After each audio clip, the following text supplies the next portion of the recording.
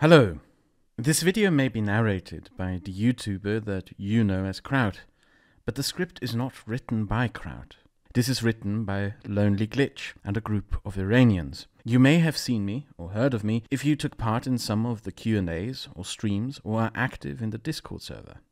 I am an Iranian friend of Kraut, and I asked Kraut permission to use his platform to bring you a message. I would like to ask you for a moment of your time because I have something important to tell you. As you may have heard, there are ongoing nationwide protests in Iran. What sparked these protests was the murder of a 22 year old Kurdish Iranian woman from the small city Saqqez called Mahsa Amini, also known as Zhina.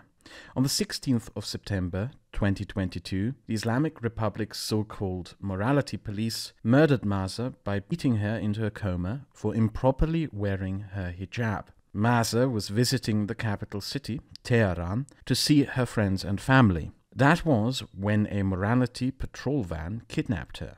According to other detainees inside the police van, officers repeatedly beat her head to the side of the van and based on the CAT scan images confirmed by regime news outlets, she had extreme levels of damage done to her brain tissue, which ultimately took her life and shocked our country. This is our everyday story as Iranians, ever since the existence of the Islamic Republic. 44 years of an Islamo fascist regime that uses its citizens as mere disposable assets in its dystopian ideological delusion. And it has devastated our country. My country used to be a beautiful one, where there was hope, music, dance, history, and culture. But now all we do every day is bury our hopes, our dreams, our reputation, and our family members. Under the rule of Velayat e Faqih, the guardianship of the cleric ideology, human rights have been virtually non existent for the past decades corruption, mismanagement, and embezzlement by regime officials, and the absurd amounts of money they spend on funding militias like Hamas, Hezbollah, and Houthis make our lives harder every day. Meanwhile, the regime continues its oppression of women, intellectuals, religious and sexual minorities, and whoever else they deem as unwanted. They've designed a massive propaganda system to brainwash citizens as early as the first grade to create a society subservient to their ideology. But they've failed. Ever since its existence, we have rejected the propaganda and kept growing as a society independent from the regime. We fought the propaganda and managed to use the internet as our last bastion of freedom to spread awareness. This has not been pleasant to the clerics, as you might have guessed, and now we've had enough, and we are ready for change. Although Iran has never experienced true democracy, the fight for the rule of the people has been an over century old struggle for our nation. We have not stayed quiet against the regime's oppressions throughout these years. You may have not heard much about our struggle, about how the regime shut down the internet and murdered over 1,500 people in three days and in cold blood during the November 2019 protests. We are a society that despises the backward and inhumane laws that its regime enforces on it. We are not extremists. We are not Islamists. We are tired of living life under a totalitarian regime that wants us to eat, speak, dress up, behave, and think the way it desires. A regime with no accountability and no hope for reforms in any capacity. Ever since the death of Mahsa, Every fragment of our society has been shaken. As we enter the second week of nationwide protests and strikes, the regime is using its anti riot, Iranian Revolutionary Guard, police, plainclothes, secret police, and Basij militias to crack down on protesters. They shoot us in the streets trying to protect a regime that is no longer legitimate to the eyes of the people.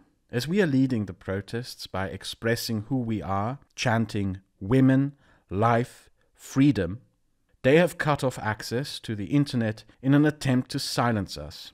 But the world has seen who we are this time. The world has seen the bravery of our women, burning their hijabs and cutting their hair as a sign of protest against a system that has desperately tried to subdue them for all these years but has failed to do so.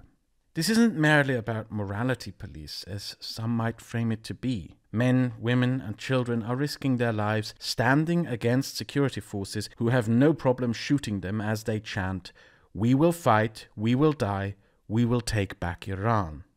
What we do is about freedom and justice. It's about our hopes and shaping our future. And it's about taking our country back. And like any revolution, we may succeed or we may fail. But our fight and our struggle continues, and this is where you come in. Now, you may be thinking, what can I do? I don't personally live in a country with an accountable political system. I have never had the chance to be represented by anyone in the government, but you do. As we continue our lives in pain, children and relatives of the regime's officials, alongside propagandists and lobbyists, live freely in your democratic countries. They live luxurious lifestyles with the money they get through corruption and embezzlement. They live their lives the same way that people in Iran get prosecuted for for doing so. These people are an elite and oligarchy class that lobby and spread propaganda and misinformation while undermining Iranians abroad who try to bring light to these crimes. They live in Canada, the United States, Germany, the Netherlands, United Kingdom, France, and a lot of other Western countries. I humbly ask you, as a citizen of a democracy, to write your representatives in Parliament and ask them to investigate the regime's echo chambers and its corrupt cronies abroad, who we call the Aghazadehs.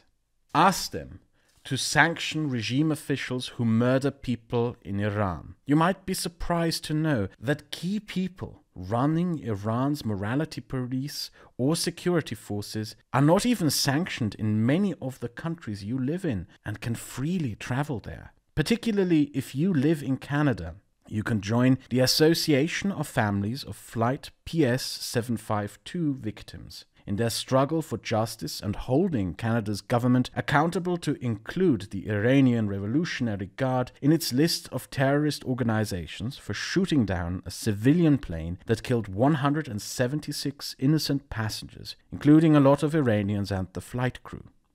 You can check their website at www.ps752justice.com. And one last thing. The regime is actively trying to silence us. Our campaign and protests continue. I myself have had an extremely difficult time connecting to the internet and getting past the abysmal level of censorship. We may experience another nationwide internet blackout like in 2019. I could lose my voice and my connection to the rest of the world any moment now. And when the regime cuts the internet, the regime kills. They bank on the world looking the other way to commit atrocities in the dark. Spread the word. Every tweet, every video, every discussion, and every letter counts. Let the world know who we are, what we've been through, and what we are fighting for. Just recently, the hashtag Mahsa Amini has broken the record as one of the most used hashtags on Twitter with its Persian variant being repeated over 90 million times in a week. Be a part of our family. Use your platforms and speak up. Don't let her name be forgotten. As our great Persian poet Nizami Ganjavi once said, there's much hope in despair. The end of the dark night is bright. I look forward to talking to you again in a brighter future.